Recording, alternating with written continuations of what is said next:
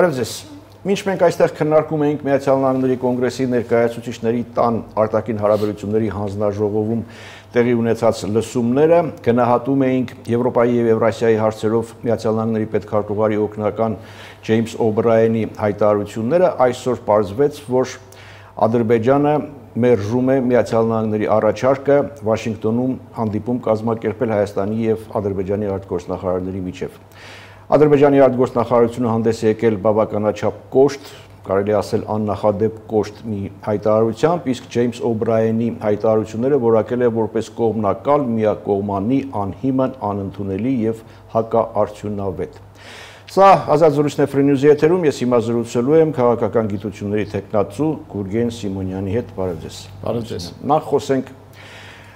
Ադրբեջանի այս մերժման պատճառների մասին, մերժման ձևի, տոնայնության, կոշտության մասին, Միացյալ Նահանգների արձագանքի հայտարարությամբ եւ հայտարարությունից անդին եւ հետագա հնարավոր զարգացումների։ Եվ ուրեմն Բաքուն մերժում է Միացյալ Նահանգների առաջարկը։ Ինչու է Ալիևը հրաժարվում այդ հանդիպումից, ավելի ճիշտ չի թույլատրում արտգործնախարարի մասնակցությունը, թերևս ճիշտ կլինի հարցը այլ կերպ ձևակերպել, ինչու Էրդողանն ու Պուտինը չեն թույլատրում Ադրբեջանի արտգործնախարարի մասնակցությունը։ Շատ ճիշտ ասեցիք, ընդ որում հենց ամենակենտրոնին հարվածեցիք, որ սա պայմանավորված չի միայն ադրբեջանական ակնկալիքներով, նաև մենք պետք է արդարության համար նշենք, որ ադրբեջանական ակնկալիքները պայմանավորվում են բացառապես ադրբեջանի վերնախավի ակնկալիքներով, իսկ վերնախավը աֆիլիացված է ռուսական եւ թուրքական իրողություններին մենք հստակ պետք է գիտակցենք, որ գլոբալ մակարդակում բոլոր տարածաշրջաններում աշխարհը ճամբարների է բաժանվում։ Եթե մենք սա չգիտակցեցինք, չափազանց ողբերգական հետևանքների առաջ կկանգնենք եւ կառերեսվենք այնպիսի անհաղթահարելի իրողությունների, որոնց ճնշման ներքո մեր գոյության իրավունքը չենք կարողանա իրացնել պետք է ուտոպիստական հայացքները եւ ակնկալիքները դնենք մեկում եւ քաղաքական իրատեսության պայմանավորված հարցին նայենք ընդհանրական առումով։ Սա քաղաքականության, նրանց կողմից վարվող քաղաքականության հարացույցի շարունակությունն է։ Իլհամ Ալիևը բոյկոտեց Գրանադան, Ալիևը բոյկոտեց Բրյուսել, հիմա ասում են Բրյուսել 1-ը որտեղ Բրյուսել երկրորդ Բրյուսել 2 տրեկի հերթականությունն է գալիս, ընդ որում կանխակալ նաև մերժեց Միացյալ Նահանգների բոլոր տեսակի ջանքերը, որպես մոդերացիա իրականացնող հավասարակշիռ կողմի եւ հարցը ուղղորդում է արդեն մոդիֆիկացված 3+2 ձևաչափ 3+3-ը դարձել է 3+2, ես կանխակալ կասկածներ ունեմ, որ այդ ձևաչափը կդառնա մոտապագամ 4+1 այնուհետև 4 պլյուս 0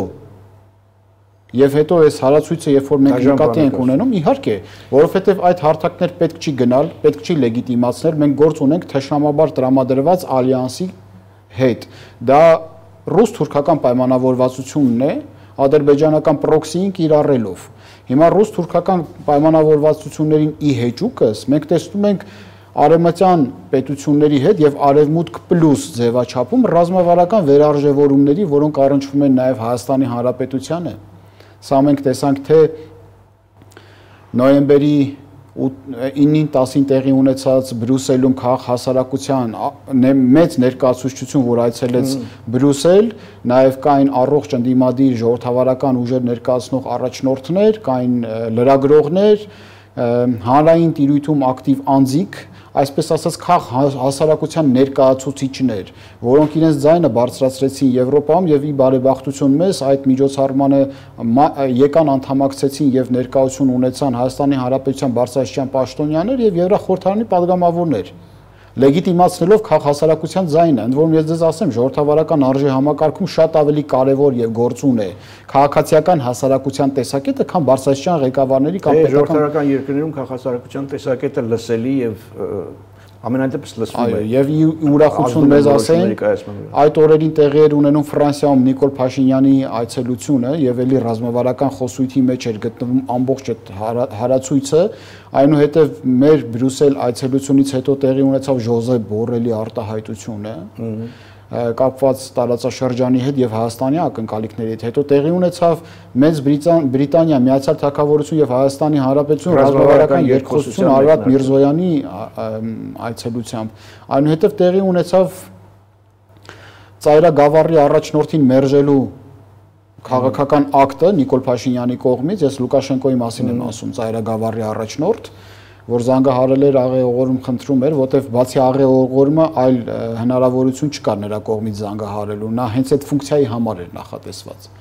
Եվ մենք պետք է ֆիքսենք, որ Միացյալ Նահանգներում այդ լսումները, որ տեղի ունեցան Արցախի պաշտպանության համար Արցախյան հիմնախնդիրը ավելի շատ խոսվեց հայ-ադրբեջանական Միանշանակ, որտեղ Միացյալ Նահանգները շատ կարևորագույն բան գիտեն,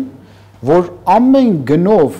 ամեն ուժով Հայաստանի Հանրապետությունում չեն ուզում հասկանալ եւ մերժում են, որ Արցախը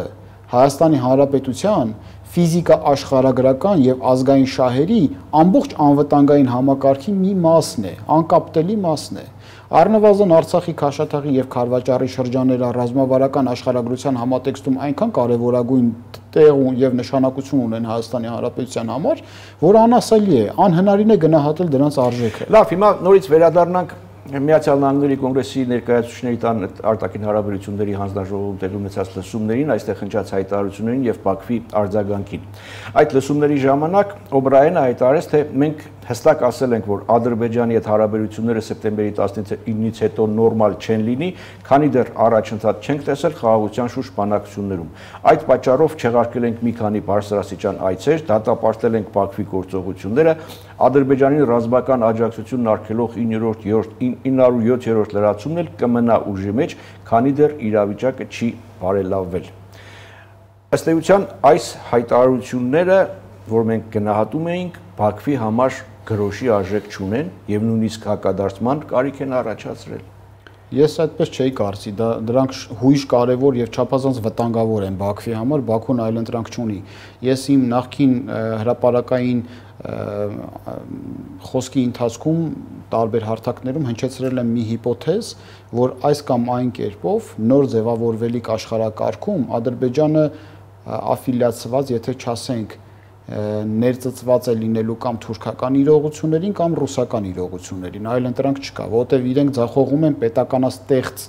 հանրույթի ինքնանույնականացման հարցը եւ այնտեղ իրողությունները պայմանավորված են վերնախավով։ Վերնախավը սերտաչած է համ ռուսական իրողություններին, համ թուրքական իրողություններին։ Հիմա այստեղ հարցը գնում է որ իրողություններին նրանք կաֆիլացվեն։ Եթե Հայաստանի Հանրապետությունը դիմադրողական է գտնվում եւ գոյությունը պահպանում է նոր աշխարհակարգում, Ադրբեջանը ռուսականացվում է։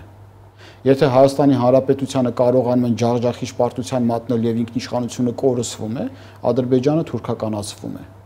Դա Ադրբեջանի շատ ավելի շահեկան է թուրքականացվելը, դրանով է պայմանավորված նրանց հարվածը հայկական պետականությանը։ Իսկ հայկական պետականությունը կսկսի գոյություն չունենալ, երբ որ կորցրեց իր ռազմավարական նշանակությունը՝ Սյունիքը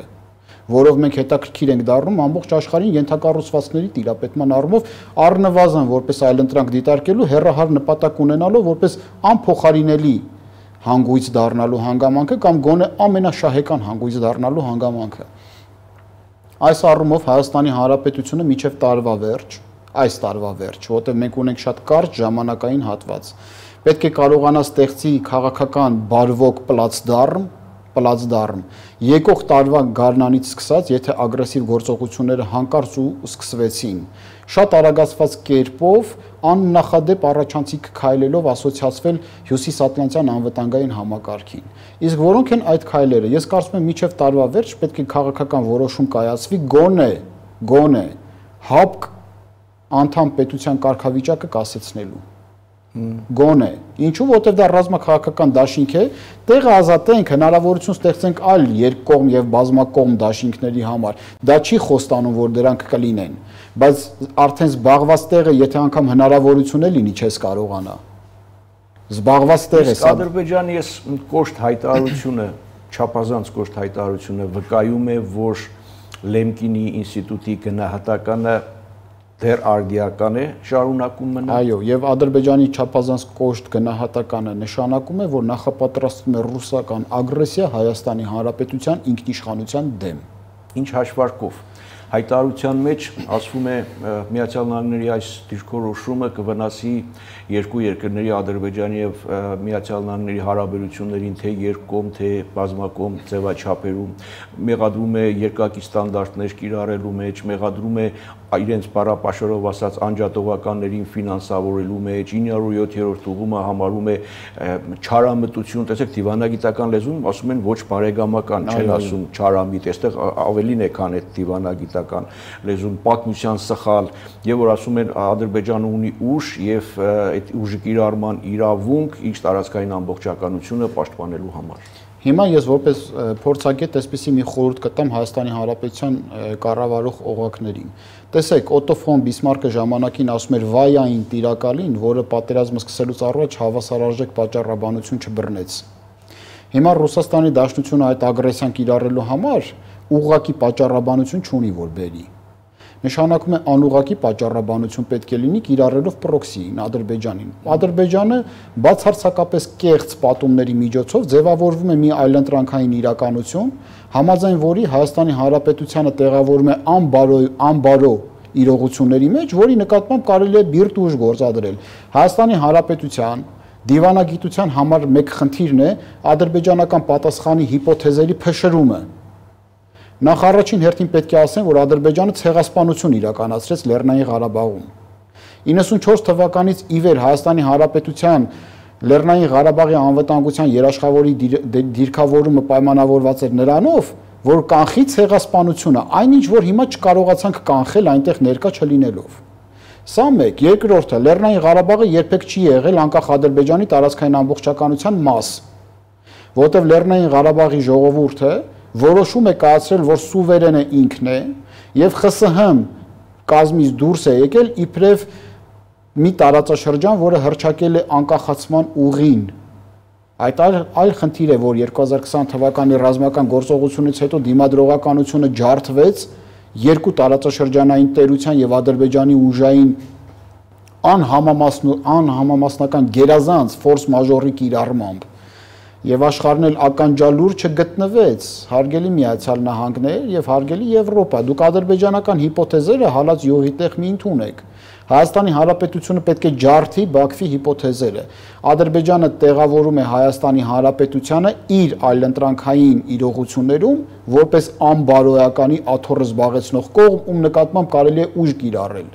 Հիմա մեր խնդիրն է ջարդենք այդ հիպոթեզերը, որ Բիսմարկյան առումով պատճառաբանություն չունենան հենման կետ չունենան այդ ագրեսիան իրագործելու, որտեղ այդ ագրեսիան իրագործելու հերրանկարը պայմանավորված է ոչ թե Ադրբեջանով, այլև քիչ առաջ ասացի Ռուսաստանով։ Լավ, այստեղ մի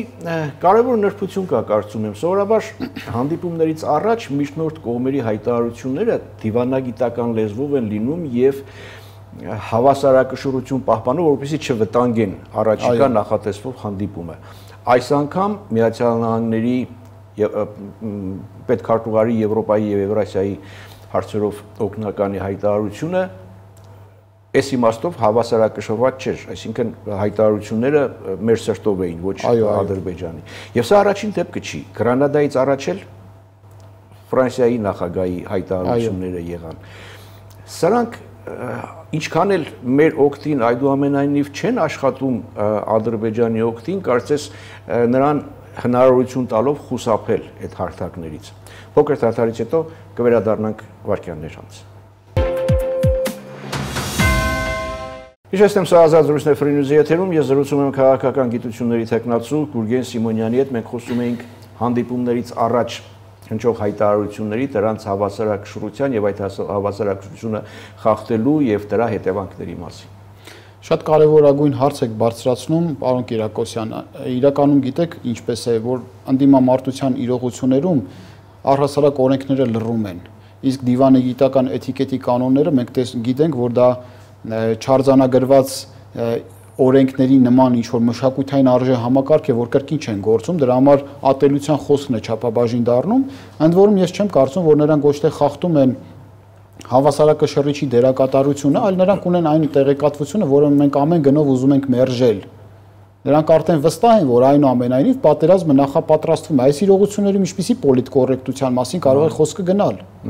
Մանավանդ Ռաֆայել Լեմկինի ցեղասպանությունների ինստիտուտի զեկույցները, որը think tank ուղեղային կենտրոն է, որի զեկույցները հիմք են հանդիսանում պետական քաղաքականության արարման համատեքստում, իսկ Միացյալ Նահանգների պետդեպը հիմնվում է այդ զեկույցների վրա։ Պետդեպը նաև պատերազմի ինստիտուտների զեկույցների վրա է հիմնվում, որպես անալիտիկ հզոր կենտրոնների։ Եվ նրանք կանխար տեսում են պատերազմ, հայ ժողովուրդ, Հայաստանի Հանրապետության իշխող վերնախավ նախապատրաստվում է ագրեսիա։ Իհարկե ես որպես անմասն չմնացած եւ շփումներ ունեցող տարբեր աստիճանների գիտեմ որ մենք այնպես չի որ ձերքներս ծալած նստած ենք սա ասում են որպեսի հանգարց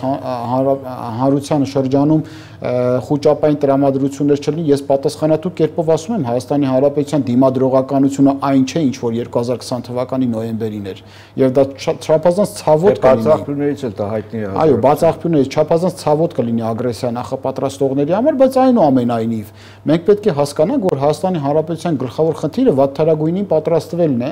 եւ Միացյալ Նահանգները այդ տեղեկատվությունը ունենալով հանդերձ են այդպիսի հռետորաբանություն ողջերել։ Ընդ որում մենք շատ կարևորագույն մի բան պետք է արձանագրենք, որ վերջերս Վրաստանը, Մոլդովան եւ Ուկրաինան հատուկ ԵՄ անդամակցության հատուկ կարգավիճակ ձեռք բերեցին, տեխնացուի կարգավիճակ։ Հիմա տեսեք, Հայաստանի Հանրապետության համար Վրաստանը կյանքի ուղի է։ Արևելյան մեր սահմանագոտին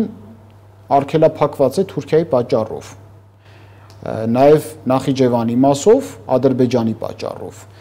Արևմտյան սահմանագոտին ռազմական գործողությունների թատերաբեմ հիշեցնող մի սահմանագոտ է, որ կրկին արգելափակված է Ադրբեջանի պատճառով։ Իրանի Իսլամական Հանրապետության հետ մեր կյանքի ուղին խնդրահարույց է կապված Իրանի եւ քաղաքակիրթ աշխարհի միջև խնդրահարույց կնճռոտ հարցերի պատճառով արևմուտքի միջև։ Հյուսիսում միայն Վրաստանն է մնում, որ կարողանում ենք մենք որպես հաղորդակցման ճանապարհ ունենալ արևմուտքի հետ։ Եթե Վրաստանը հատուկ կարգավիճակ է ստանում, դուք պատկերացրեք, եթե մի քանի մղոնանոց թռիչք կատարեց դեպի ԵՄ ասոցիացիում, հատուկ ռեժիմ է սահմանվելու այնտեղ որակների եւ ստանդարտների բարձրացմամբ պայմանավորված։ Ինչը մենք ցանկանում ենք վիզային ռեժիմ ունենալ Վրաստանի հետ, կկորչենք առհասարակ աշխարհագրությունից։ Հետևաբար Հայաստանի Հանրապետությանը այդ վեկտոր կոչեցյալը, որ մեզ մեղադրում են վեկտոր փոխելու մեջ, նախքին վեկտորը մեզ ծախեց, վաճառեց, նոր վեկտորն էլ մեր երկու երկյուղացության պատճառով չի սпасում արդեն որ մենք գնանք դեպի իրեն ինքն է եկել դեպի մեզ ասում է եղբայր դուք ճանաչված եւ հրճակված եք մերզավոր արևելքում որպես ժողովրդավարության փարոս Եթե դուք վախենում եք, որ ձեր ձեզ վաճառած վեկտորը այս այս այս կետերով ձեզ կարող է հարված հասցնել, մենք իբրև կանխակալ քայլ այդ այդ եւ մի շարք այլ իլերումը դրան կետերով հավասարարժեք օժանդակությունը տրամադրում ենք ձեզ։ Լինի վերաբերի դա միջուկային էներգետիկային, վերաբերի դա առաջին անհրաժեշտության պարենային սննդամթերքին եւ այլն եւ այլն։ Հիմա այս փաթեթն ունենալով հանդերձ մենք այլևս ինչ ենք ուզում։ Մենք ուզում ենք մի երևակայական աշխարհ ձևավորենք մեզ համար եւ ապրենք այդ երևակայական աշխարհում, չտեսնելու տանք ջայլամի քաղաքականության նման այն ռիսկերը, որոնք որ Հայաստանի Հանրապետությունը անխուսափելու են բախվելու է։ Ընդ որում ես ձեզ ասեմ, ռիսկերը դրանք բոլոր պետություններին, ինքնիշխան պետություններին բախվող երևույթներ են եւ դրանք շատ կարեւոր են պետությունների զարգացման համար ռիսկերը թե ներքին թե արտաքին մարտահրավերները ժամանակի ընթացքում որակական եւ քանակական փոփոխություններ են կրում եւ եթե մենք դրանք չտեսնելու տանք պարզապես ինստիտուցիոնալ բաց կունենանք եւ ազգային իմունային համակարգը եւ դիմադրողականությունը հավասարարժեք չեն կբարձրացնի։ Հիմա ժամանակն է եկել կողմնորոշվելու Արևմուտքը արդեն հստակ կողմնորոշվել է մեր մասով, ռազմավարություն են փոխվել եւ ռազմավարական վերարժևորումները սկսել են, նաեւ գետնի վրա գործուն աջակցություն են տրամադրում հատուկ նշանակության տեխնոլոգիաներից բռնած, տեսադիտարկման առաքելությամբ վերջացրած նաեւ բորելի խոստմամբ նաեւ անցագրային հատուկ վիզաների ռեժիմի հեշտացման պայմանավորված դա պետք է լինի։ Հիմա պետք է աշխատել։ Եվ ես ձեզ հավաստիացնում եմ, Համընթաց Հայաստանի Հանրապետության պաշտպանունակության բարձրացման Ադրբեջանի միլիտարիստական ցանկությունները կնվազեն։ Լավ։ Հիմա էլի վերադառնանք Ադրբեջանի արտգործնախարարի այդ նախարարության այդ կոշտ հայտարարությանը եւ Միացյալ Նահանգների արձագանքին։ Արձագանքն արդեն կա, Մեթյու Միլլերն է արձագանքել եւ հայտարարել, թե մենք շարունակում ենք աջակցել խաղաղ բանակցություններին Ադրբեջանի եւ Հայաստանի Հանրապետության միջև խնդիրները լուծելու համար։ Մենք խրախուսում ենք երկու երկրներին մասնակցել այդ բանակցություններին, լինի դա Միացյալ Նահանգներում, թե այլուր, եւ մենք կշարունակենք այդ քաղաքականությունը։ Ինչի մասին է հայտարարությունը Ադրբեջանի արտգործնախարարության այդ կոշտ օժանդակիչ հայտարարություն խաղաղ գործընթացի բանակցություններին, որ մենք չենք կանխում ցանկացած այլ մեթոդ խաղաղության հասնելու, հասեք խաղաղության։ Եթե չեք հասցնի խաղաղության կամ ագրեսիա կկիրառեք, չնեղանաք մեզանից։ Չեք ուզում գաք Վաշինգտոն, գնացեք Բրյուսել։ Մնացած այլ վայրերը հարթակ չեն։ Մոսկվան հարթակ չի, Մոսկվան կողմ է։ Դե Բաքվի ընկալմամբ էլ հիմա նույն հաջողությամբ եկեք վրան վրան խփենք, ենթադրենք սոտքում գնանք այնտեղ բանակցենք։ Այդ վրանի մեջ ուղիղ բանակցենք։ Լավ, հիմա այս Մեթյու Միլլերի դիվանագիտական լեզվից անցնենք ավելի պարս լեզվի։ Բաքուն Ադրբեջանի արտգործնախարարությունը կոշտ հայտարարություն է արել, չգիտեմ, վաբանք, դեմարշ եւ այլն։ Միացյալ Նահանգների նաև հեղինակության խնդիրն է սա։ Եվ Միացյալ Նահանգների արձագանքի, ես հայտարարությունից անդին նկատի ունեմ արձագանքի, ինչ տարբերակներ կան։ Բերման ենթարկել Բայրամովին, բերման չենտարկել, չենտարկվելու դեպքում պատժամիջոցներ կիրառել, թե մարսել եւ ինչ որ արդարացումներ գտնել։ Բացառվում է մարսելը։ Բացառվում է, սա սպիտակ մարդու տեսակն է։ Նրանք չեն մարսում ոչինչ։ Արևմուտքի հարվածը հուշկու է լինելու եւ կործանարար այստեղ ժամանակային իրողությունը այս ընթացքում մենք չկորչենք իսկ մենք չկորչելու համար պետք է պատրաստվենք հիմա միացյալ նահանգները ունի երկու ճանապարհ այս իրողությունները շտկելու. Բերման ենթարկել ադրբեջանին անկողմնակալ հարթակներ խաղաղության դիսկուրսի շուրջ չհաջողվելու պարագայում Հայաստանի Հանրապետության դիմադրողականությունը պաշտպանողական պաշտպանական եւ անվտանգային համակարգի անասելի բարձրացում միջև որ Հայաստանի Հանրապետությունը դառնա ֆորս մաժոր Ադրբեջանի համար։ Եվ այդ դեպքում արդեն կպատժեն Ադրբեջանին մեր ձեռքերով։ Բաքվի մերժումը եւ այս տոներով, այս տոնայնության մեջ մերժումը կապ ուներ Հայաստանի Հանրապետության վարչապետի Մինսկ չգնալու եւ ՀԱՊ խորհրդի նիստին չմասնակցելու հետ։ Իհարկե, դրանք տրամաբանական շարունակություն են եւ Հայաստանի Հանրապետության վարչապետը չափազանց ճիշտ որոշում է կայացրել եւ ես ողջունում եմ Հայաստանի Հանրապետության վարչապետի այդ որոշումը եւ կդատապարտեի, եթե հակառակը իրականացվեր, կստացվեր Հայաստանի Հանրապետության ռեաբիլիտացիոն հնարավորությունները ձախողում են բայց հավասարարժեք որոշում է կայացվել գնա Մինսկ ինչ անի այդ այդ ճամբարում անելիք չունի Հայաստանի Հանրապետությունը ամեն ինչ ասված է եւ ամեն ինչ արված է ասվածից եւ արվածից անդեմ արդեն չգնալուց հետո Ռուսաստանը հայտարարում է թե Երևանը վերջին շրջանում քայլեր է ձեռնարկում, որոնք չեն համապատասխանում Մոսկվայի հետ նախկինում ձեռքբերված պայմանավորվածություններին եւ որ արևմուտքը խանգարում է Երակոմ պայմանավորվածությունների իրականացմանը եւ ամենակարևոր Երևանի եւ Բաքվի հաշտեցմանը։ Գուցե Մոսկվան հիշողության հետ կապված խնդիրներ ունի, բայց հիշեցնենք Մոսկվան ակնարկում է, որ այդ հաշտեցման չկայացումը գործնականում ցույց տալու մտադրություն ունի արդեն։ Մոսկվան հիշողության խնդիր ունի եւ նրանց հիշողությունը թարմացնելու համար, ասենք, որ 2022 թվականին նրանք մեր թշնամիների հետ ռազմաքաղաքական դաշինք ունեն ռազմավարական համագործակցության պայմանագիր ունեն եւ նրանք ասոցիացվել են մեր թշնամիների հետ։ Մենք այդտեղ անելու բան չունենք։ Եվ Մոսկվան